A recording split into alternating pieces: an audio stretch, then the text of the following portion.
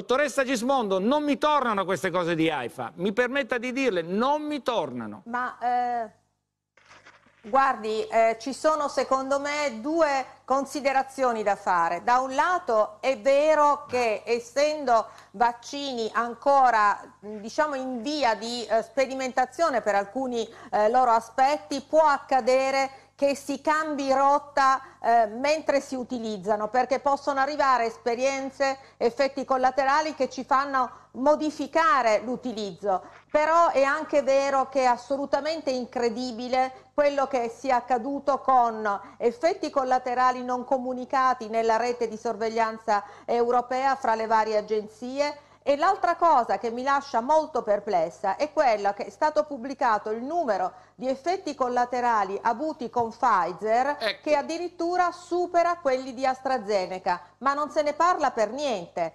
Allora dobbiamo essere tutti modesti e dire che probabilmente l'emotività ha preso il sopravvento, io voglio assolutamente eh, pensare che ci sia stata una buona fede, che le eh, decisioni sono state prese affrettatamente, dettate dall'emotività. Peraltro lo stesso professor Palù ha detto che eh, l'emotività ha giocato moltissimo, che l'AIFA in pratica si è trovata a un bivio o bloccare dando alla gente la fiducia che si sta attenti a qualsiasi eh, segnale o andare avanti e, e, invece non distruggere la fiducia su AstraZeneca che in parte è stata distrutta. Eh, ecco, ma ha un costo molto eh, alto, dottoressa. Ci sono tante verità che devono dottoressa, essere approfondite. Eh, capito, Dica... ma in...